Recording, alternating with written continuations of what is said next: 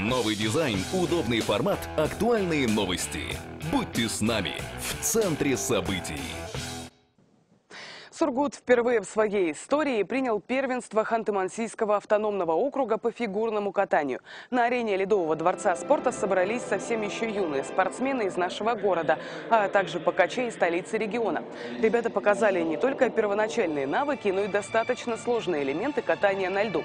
Каждого ребенка зрители чествовали бурными аплодисментами и мягкими игрушками, а в планах спорткомитета дальнейшее развитие этого изящного зимнего олимпийского вида.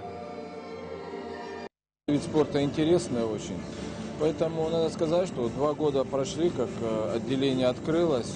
Есть уже определенные свои какие-то определенные успехи. И приятно, что за эти два года мы уже чуть выстроили такую систему, что Сургут уже как бы и уважаемый в данном виде спорта в Ханты-Мансийском округе.